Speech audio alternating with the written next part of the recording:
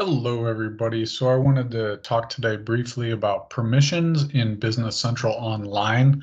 As everyone probably knows by now, we just received the fall 2021 update for Business Central for all our customers that are online. Um, sometimes when we get these updates that come twice a year and then minor updates come monthly, um, we notice that there can be permissions changes that Microsoft offers with the update. These permission changes are automatically applied to the system permission sets. So in many cases, a customer has gone in and made a copy of the system permission set in order to make changes to it. And those copies do not get the updates from Microsoft. So how do we tell what those updates exactly were? Um, this is my uh, simple method for telling just using Excel. So let's go ahead and walk through it here.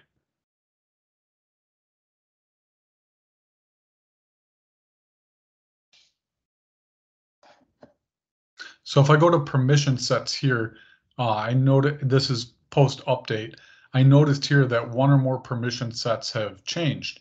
It gives me a message here, and if I press show message, it's going to give me a little bit more information. It's going to show me the, the sets that have had changes done to them. So these are the base system permission sets here, and these are the ones that we created by making copies of them. And so it looks to me like there's changes potentially in all of these sets. So we need to quickly review these. So I'm going to walk through one and show you how to how to do this. So I just go up here and I go to permission sets and I start out with the base one and we're going to look at the first one. Um, this one D365 accounts payable and we're going to look at the permissions for it. And I'm going to go up here and I'm going to use my open in Excel function to move all this to Excel.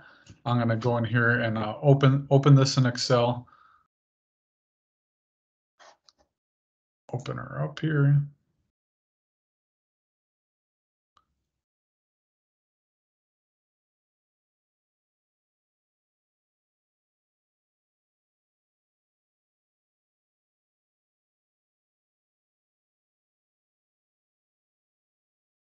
Great, so now I'm just gonna take this one and I'm gonna put it kind of on the side here while I look up the other one, which is the permission set that I created from this. So here's my accounts payable one. So I'll do the same thing here. I'm going to go in and look at the permissions and I'm going to go in and uh, open in Excel.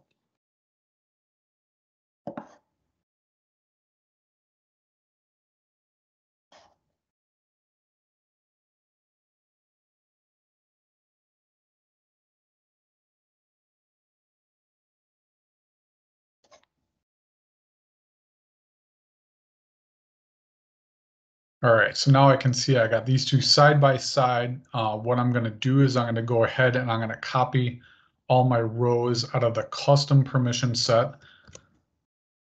And I'm going to go in here and I'm going to just put them over here next to it. All right, and now normally what I've noticed in these updates that the only thing that gets changed is there's tables being added or tables being removed. If tables are removed, that typically won't affect you because they're just not there anymore. Um, but if tables get added, this could cause an issue with accessing the client. So in, in this case of the 2021 fall update, Microsoft has added kind of like a splash screen on the front of some role centers that use some new tables and that can cause an issue. I've had customers that can't even get in the system. So they come in the morning and they notice that they open it up and it gives them an error. They can't really see what's going on. And then we open a support case to assist them through that. We'll talk a little bit more about uh, about getting out of this ahead of time at the end of the session here.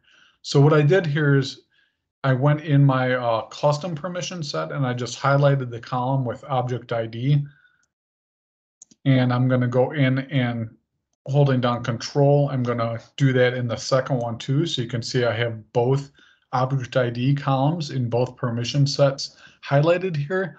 And now I'm going to go up here and I'm just going to use a simple conditional formatting command, highlight cell rules, duplicate values, and I'm going to change it to unique and press OK. And then I'm going to go over here and look at these. So I see I may have a conflict with number 53, but I'll, I'll worry about that later. That's something custom specifically for this client.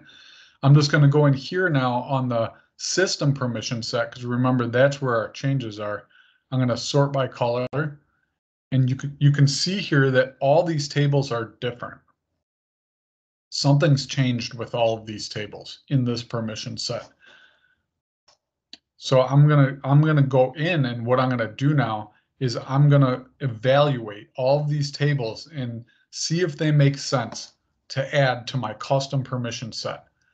I can already tell you from my notes that I've purposely removed certain tables like 15 for GL account, 79 company information. I've purposely removed these from my custom permission set in the past.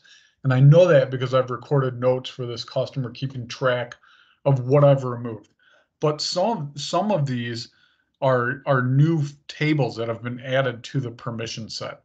So what I would do at this case, I would just go in and specifically add all of these tables to the permission set, to the custom permission set in Business Central. And then once I work through all of these, remember I had numerous permission sets here um, that were affected by the update. Once those are all added, Business Central will then open as normal and everything will be set, will be fine. Um, so going forward, you you may think that this is a, a little bit uh, concerning, right? Because our customer came in in the morning, some of their users opened up the system and they couldn't get in. So now we want to handle that ahead of time. Um, so there's an option with the Business Central updates in the Business Central Administration Center for customers can go in there and they can create what's called a pre a preview sandbox and that preview sandbox is is basically it's a it's a sandbox database of the update what will be coming so if this customer had done that a couple weeks before this update or a month before this update they could have gone and created the preview sandbox, done this process, identified the tables that are being added for the update that's coming, and put those into the live database. Now, if you do that, it may not show the table name, but it will let you put in the table number in the permission sets. So you can go in and set this up ahead of time, and then it'll just work. When the update comes out, assuming that you've evaluated all of the permission sets that have changed and you've looked through them and you've added all the necessary permissions, everything looks good. Come update time, everything should just flow through normally. And I, have done this with other customers and it seems to be a pretty solid process. Unfortunately, at this point, Microsoft doesn't let us know which tables specifically they're adding during the update. So this process has to be done. That's okay because as you can see using Excel here, it's pretty simple to go in and identify which tables are different. And then you just evaluate this along with a spreadsheet that you're keeping track of changes that you're doing as as time progresses. Everything should end up being okay. Um, I've had a, had a lot of feedback from customers and a, a lot of uh, questions about these updates with Business Central Online and uh, it, it is a concern, especially when they start adding when Microsoft adds pages that are are shown on the front of some role centers because that can cause the client not to open altogether. Okay, so um, feel free uh, reach back and let me know if you have any questions on this process and how it works out for you. Thank you very much. That's all for today.